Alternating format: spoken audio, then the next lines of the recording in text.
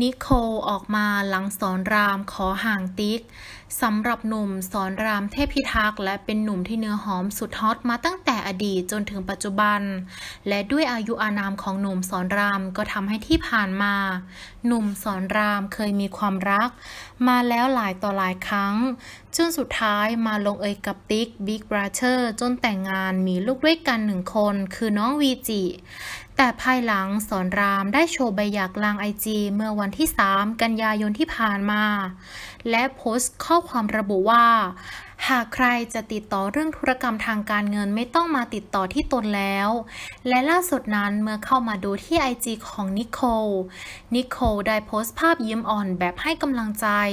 พร้อมอีโมจิสีน้ำเงิน ซึ่งแฝงไปด้วยความหมายที่ลึกซึ้ง เราลองไปชมภาพกันเลยค่ะ